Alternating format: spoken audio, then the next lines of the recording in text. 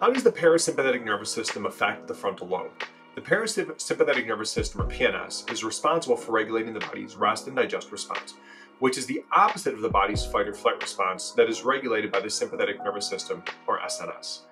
The PNS is involved in a range of physiological processes such as slowing the heart rate, decreasing blood pressure, and increasing digestive activity. Research, has suggested that PNS may play a role in brain development, particularly during critical periods of early childhood. Studies have shown that the PNS is important for regulating the stress response, and chronic or excessive activation of the SNS can have negative effects on brain development. In particular, the PNS has been shown to influence the development of the prefrontal cortex, or PFC, which is a key brain region involved in a range of cognitive processes such as decision making, planning, and impulse control. Research has suggested that activation of the PNS can promote the growth and development of the PS, PFC, while chronic activation of the SNS can impair the growth and development of the PFC. Furthermore, studies have also suggested that the PNS may play a role in regular synaptic plasticity, which refers to the brain's ability to change and adapt over time. The PNS may promote synaptic plasticity by modulating levels of neurotransmitters such as acetylcholine, which is important for learning and memory. Overall, the PNS plays an important role in brain development, particularly in the development of the PFC and synaptic plasticity.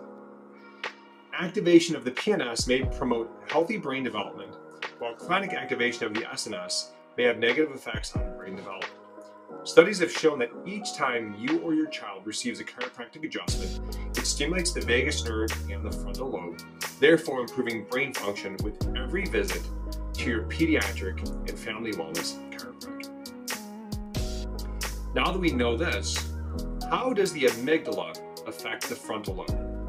The amygdala and the frontal lobe are two important brain regions that are involved in various cognitive and emotional processes. The amygdala is a small almond-shaped structure located deep within the temporal lobe of the brain, and it is primarily known for its role in emotional processing, particularly in relation to fear and anxiety.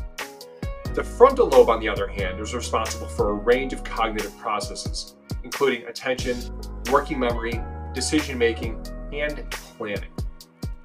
The amygdala and the frontal lobe are interconnected through neural pathways, and studies have suggested that they may interact in several ways.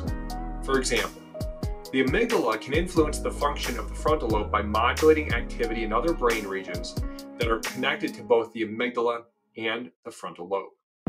This can affect cognitive processes such as attention, working memory, and decision making, which are all important functions of the frontal lobe.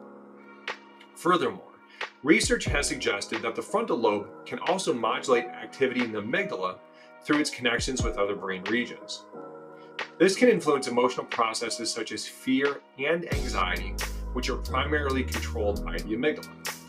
Overall, the interaction between the amygdala and the frontal lobe is complex and can affect various cognitive and emotional processes. Dysfunction in either of these brain regions or their connections can lead to a wide range of neurological and psychiatric disorders, such as anxiety, disorders, depression, and attention deficit hyperactivity disorder, to name a few.